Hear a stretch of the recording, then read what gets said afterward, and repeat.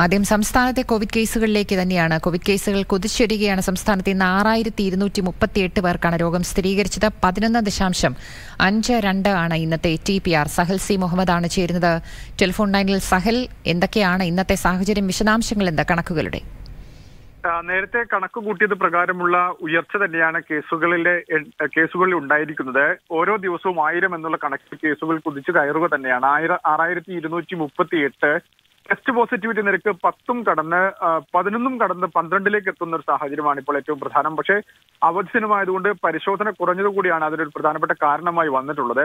ആശുപത്രിയിൽ പ്രവേശിപ്പിക്കപ്പെട്ടവരുടെ എണ്ണം ഇരുന്നൂറ്റി അറുപത്തി ഒന്നായി ഉയരുന്നുണ്ട്. അൻപത്തിനാലായിരത്തി ഒരുന്നൂറ്റി എട്ട് പരിശോധനകളാണ് നടത്തിയത്. തിരുവനന്തപുരവും എറണാകുളവും വീണ്ടും ആയിരം കടന്നിരിക്കുന്നു. തിരുവനന്തപുരത്ത് ആയിരത്തി അഞ്ഞൂറ്റി ഏഴ് രോഗികൾ എറണാകുളത്ത് ആയിരത്തി അറുപത്തിയാറ് രോഗികൾ. അങ്ങനെ എല്ലാ ജില്ലകളിലും രോഗികളുടെ എണ്ണത്തിൽ ഒരു വർധനവ് ഉണ്ടായിട്ടുണ്ട്. മൊത്തം ചികിത്സയിലുള്ള ആളുകളുടെ എണ്ണവും വളരെ പെട്ടെന്ന് തന്നെ കൂടിയിട്ടുണ്ട്. മുപ്പത്തിനാലായിരത്തി തൊള്ളായിരത്തി രണ്ട് പേരാണ് ഇപ്പോൾ ചികിത്സയിലുള്ളത്. മരണസംഖ്യ കുറവാണ് മുൻ ദിവസങ്ങളെ അപേക്ഷിച്ച്. പതിനാല് മരണമാണ് ഉള്ളത്. പൊതുവിൽ ആശുപത്രിയിൽ പ്രവേശിപ്പിക്കപ്പെടുന്നവരുടെ എണ്ണം വളരെയധികം കൂടുന്നു എന്നുള്ളതാണ് ഒരു പ്രധാനപ്പെട്ട കാരണം. ഒപ്പം തന്നെ ഈ oxygen ventilator I C U അടക്കമുള്ള സ്ഥലങ്ങളിലുള്ള ചികിത്സയിൽ ഉള്ള ആളുകളുടെ എണ്ണം നേരിയ തോതിൽ കൂടുന്നുണ്ട്.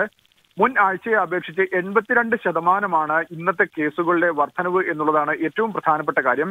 ഇത് ഈ ഒമിക്രോൺ വകഭേദത്തിന്റെ ഭാഗമായുള്ള വ്യാപനം എന്ന തരയിൽ നിലയിൽ തന്നെയാണ് വിലയിരുത്തിയിരുന്നത്. ഐ സിയുവിലുള്ള രോഗികളുടെ എണ്ണം പന്ത്രണ്ട് ശതമാനവും വെന്റിലേറ്ററിൽ ഉള്ള രോഗികളുടെ എണ്ണം രണ്ട് ശതമാനവുമാണ് മുൻ ആഴ്ചയെ അപേക്ഷിച്ച് കൂടിയിട്ടുള്ളത് എന്നുള്ളതാണ് മറ്റൊരു കാര്യം. അങ്ങനെ സംസ്ഥാനത്തും ഈ കേസുകൾ ഉയരുന്നുണ്ട്. ഒരുപക്ഷെ ഇന്ന് തന്നെ മറ്റു ഒമിക്രോൺ ചികിത്സാ ഫലങ്ങൾ പരിശോധനാ ഫലങ്ങൾ കൂടി ഇന്ന് വരാൻ സാധ്യതയുണ്ട്. എന്തായാലും കൂടുതൽ ജാഗ്രതയിലേക്ക് സർക്കാർ പോവുകയാണ്. ഒരുപക്ഷെ വരുന്ന അവലോകന യോഗത്തിൽ ഇക്കാര്യങ്ങൾ ഒരിക്കൽ കൂടി വിലയിരുത്തിയ ശേഷം നിലവിലുള്ള സമീപനത്തിൽ മാറ്റം വരുത്തണോ തുടങ്ങിയ കാര്യങ്ങൾ ചർച്ച ചെയ്യും. ഈ ആഴ്ചയിൽ ഇനിയും കേസുകൾ ഉയരാനുള്ള സാധ്യതയുണ്ട് എന്ന് തന്നെയാണ് ഇപ്പോഴും അനുമാനിക്കുന്നത്. അളകനന്ദ. സഹൽ സി മുഹമ്മദാണ് കണക്കുകളുടെ വിശദാംശങ്ങൾ നൽകിയത്. ഇന്ന് പതിനൊന്ന് ദശാംശം അഞ്ച് രണ്ടാണ് ടി പി ആർ. സംസ്ഥാനത്ത് കോവിഡ് കേസുകൾ കുതിച്ചുയരുകയാണ്. രോഗനില വഷളാവുന്നവരുടെ എണ്ണവും കുറേശ്ശെ കൂടുന്നുണ്ട് എന്നുള്ളതാണ് അതിനകത്തെ ആശങ്കാജനകമായ കാര്യം.